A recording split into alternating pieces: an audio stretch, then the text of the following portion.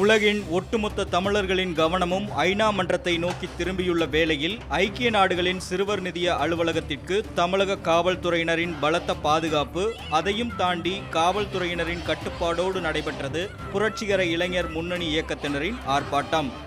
போராட்டத்தில் ஈடுபட்டவர்கள் ஈழத்தமிழர்கள் விவகாரத்தில் ஐநா சபையில் அமெரிக்கா கொண்டு வரும் தீர்மானம் மற்றும் ஐநா அறிக்கை ஆகியவை ஈழ இனப்படுகொலையை மூடி மறைக்கும் கூட்டுச் சதி என்றும் முழக்கமிட்டனர். தமிழீழம் ஒன்று மட்டும்தான். தமிழீழத்திற்கான தீர்வு தனிதேசம் இது மட்டும்தான் தீர்வு.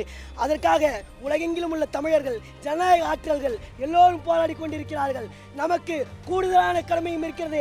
ஏனென்று சொன்னால் தாயகத்தை சேர்ந்த தமிழ்நாட்டைச் சேர்ந்த தமிழர்கள் நாம் நிச்சயமாக இதை சும்மாக விடமாட்டோம்.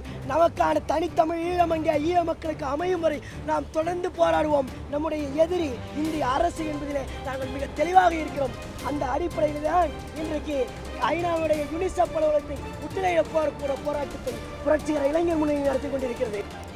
கணவன் மனைவி குழந்தை என குடும்பமாக போராட்ட களத்திற்கு வந்த நூற்றுக்கும் மேற்பட்ட போராட்டக்காரர்கள் சோசலிச கொள்கைகளை உணர்த்தும் கொடிகள் நீதி கேட்கும் முழக்கங்கள் இவை அனைத்தும் மாறி மாறி ஆளும் மத்திய அரசுகளின் காதுகளை எட்டியிருந்தால் ஈழத்தமிழர் விவகாரத்தில் நீதி கிடைத்திருக்கும் என்றும் தெரிவித்தனர்.